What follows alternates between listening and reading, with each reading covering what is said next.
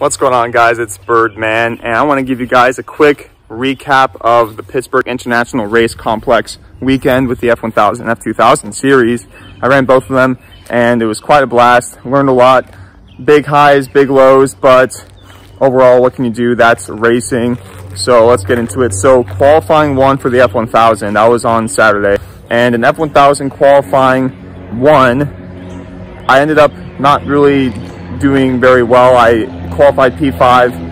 I actually ran out of fuel in the car. We just had a little bit of an underfueling issue. Couldn't quite get up to speed. Usually I take my time and I build up my speed slowly and gradually, but without as many laps as we were planning on doing, or as I was planning on doing, I couldn't quite get up to speed as fast as possible. So I ended up qualifying P5 and started the race. It was actually a rain race, or at least some of it was rain.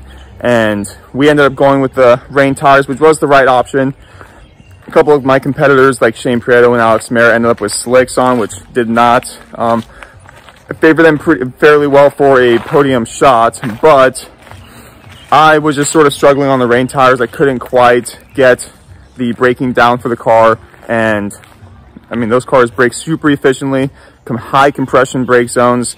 So really just couldn't quite get very comfortable in the car. I also didn't really know the rain line very well for, for Pittsburgh for pit race and it was just really tough race overall, but learned a lot. Didn't feel like I learned a lot in the moment. I was just like, man, I don't know the line. I don't know where I should be braking and all that. But we ended up finishing, I believe, actually we didn't end up finishing the race at all. So we actually ended up having an issue in the F1000 race. We did start off fairly well. I moved up to third in the beginning of the race. Had a pretty nice pass going to turn one and turn two, but um, my experience with the rain tires pretty much fell flat after that. I didn't really have that much experience in the first place, but ended up having a engine block electricity issue. One of the wires came loose and touched the engine block, cut the electricity entirely, and we ended up not being able to, well, we just, like, the car lost power going into turn 17,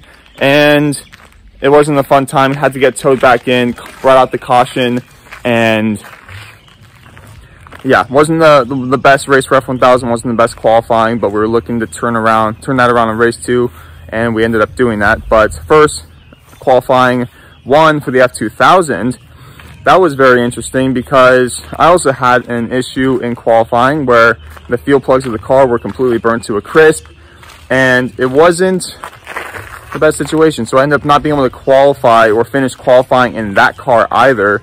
Couldn't quite get up to speed. I qualified P4, so better than I did in F1000, but still not as good I was hope as I was hoping for. I was hoping for a um, top three quali, but didn't get that result. But race one for F1, F2000. Yeah, race one for F2000, I ended up starting P4. I believe I moved up to P3 off the bat and I sort of fell back to um, sixth place because it was a rain race, first of all. And there were some variations in the tire selection. Some people wanted to go with slicks, some people wanted to go with rain tires. We ended up going with the slicks. And I also ended up with only three out of my four engine cylinders working. So that was a little bit of an issue, unfortunately couldn't, we didn't have the power for the low speed corners, getting out of the corner. All that torque that was necessary just wasn't there for the car. And we're on slicks as well. So off the, at the beginning of the race, the race leader sort of just pulled away with the rain, with the rain tires. At that point, eventually the, the session became more and more dry, but at that point, the rain tires had already created such a lead for him that even my competitor Trent Walco could not keep up with him in second place. I mean, I did my best. I finished sixth place and I at least was able to finish the race, which is nice, and get a good amount of experience just racing in the rain. It was essentially just running the dry line, I think. That it's more of a one lane track in terms of rain racing in the first place. But yeah, so race two, qualifying two for the F1000 was a much better.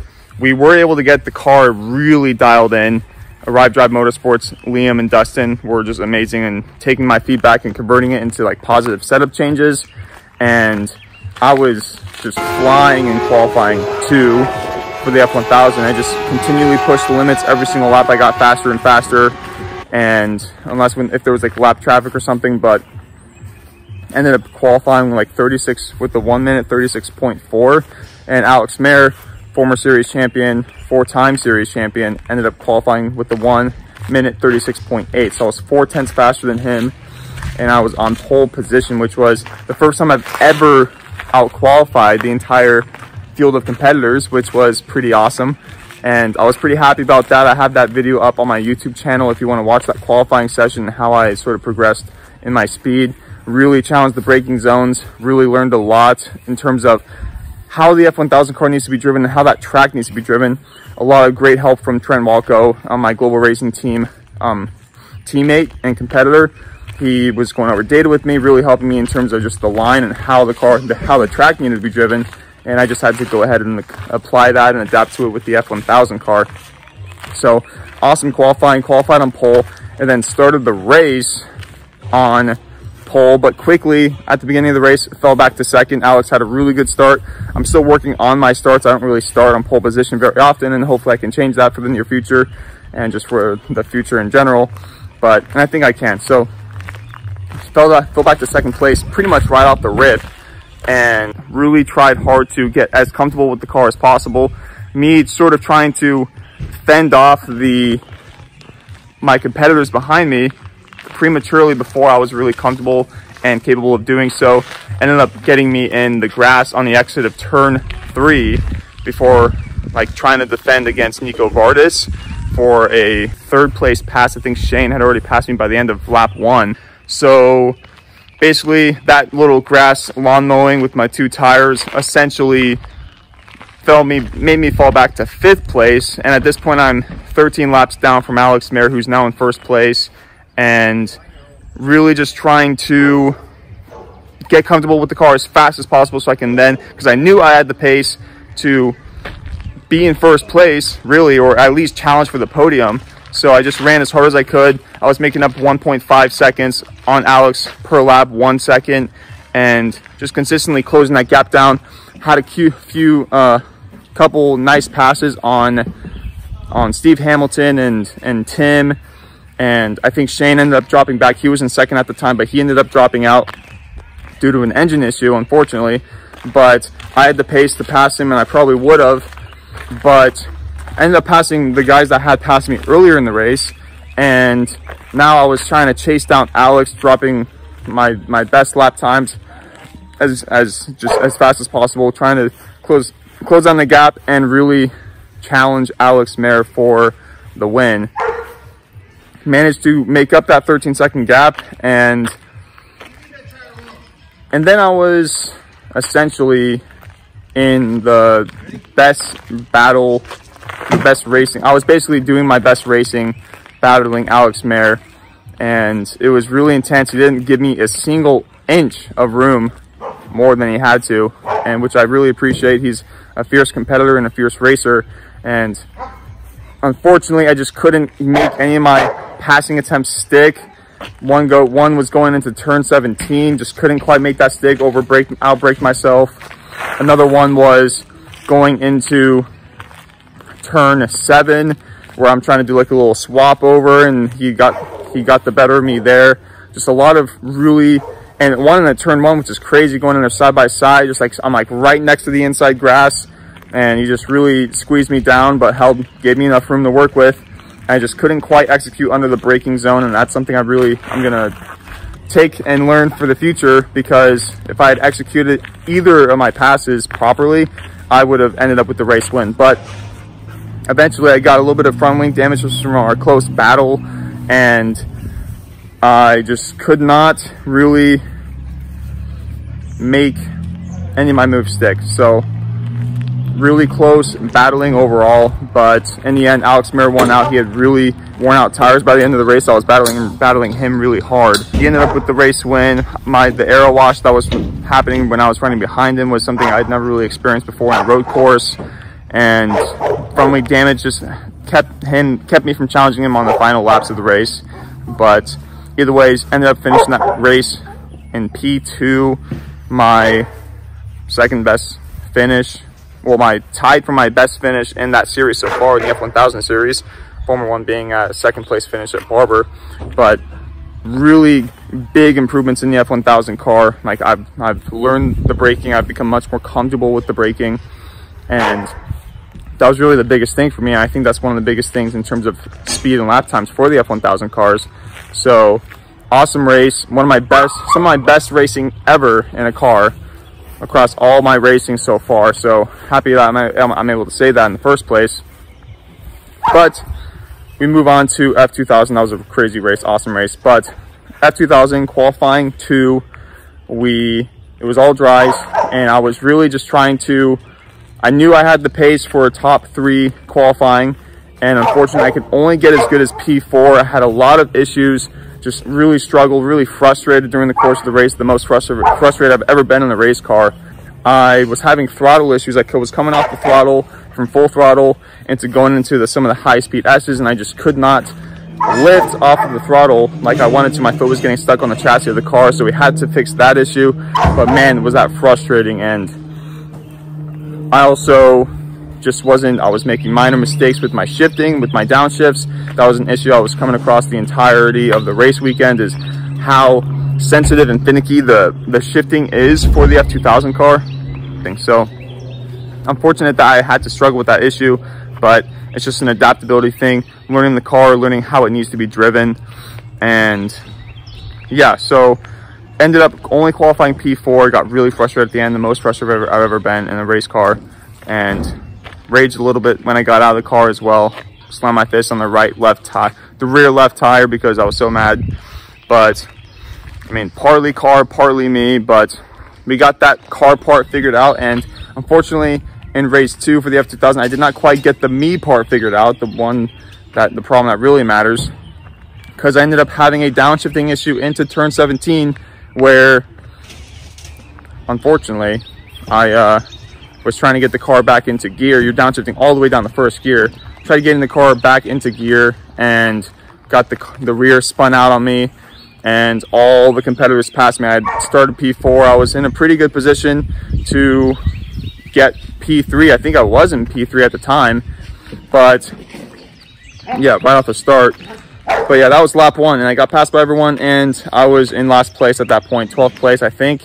And I just, after that stupid mistake, just not really being disciplined with my downshifting and with the car in general, how I need to handle it, I fell back all the way. Had to make up a ton of ground to even make it back to seventh place, which is where I finished in that race.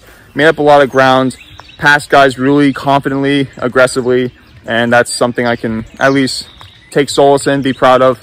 But yeah, really struggled with just getting comfortable with the F2000 car over the course of the weekend. But I mean, we had a lot of issues, mechanical and otherwise, but the guys did a great job in terms of getting all those issues turned around and getting everything fixed. So I actually had a, I had a good race car underneath me for race two in the F2000 series, but unfortunately couldn't quite execute on the driver's end of things and that was unfortunate, but you live and you learn, and I've learned that how I need to drive the F2000 car. So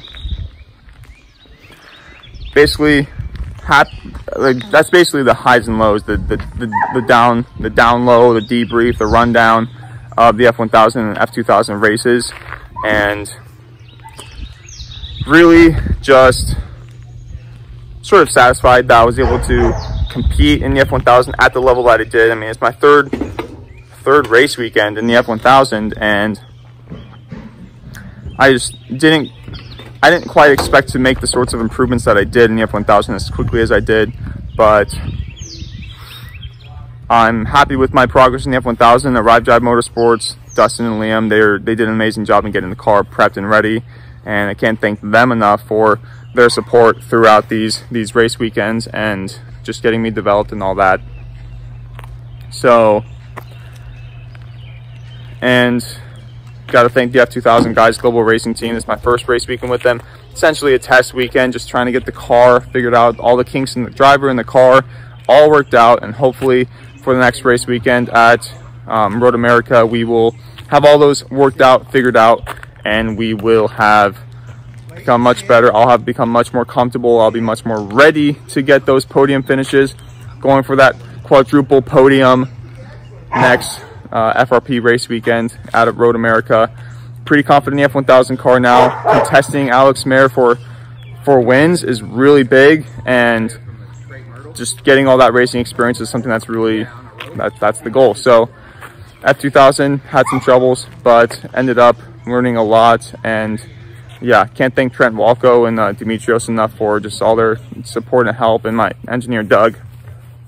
But yeah, so got to thank Byrd Racing, Signing Day Sports, Skip Barber Racing Series, I hope Hope Givers International, um, America's Best Value Inns, Speed Sport, FMX, Kipsu, all you guys, thanks for supporting me and Byrd Racing. So check out the merch, guys. It's really, really awesome merch. I love this shirt, and I'm going to be wearing it pretty much all the time, and all the other shirts and the hats. But yeah, without further ado, just thanks for tuning in, guys, for the race recap, watching the video, and I will talk to you guys next time. See you, boys.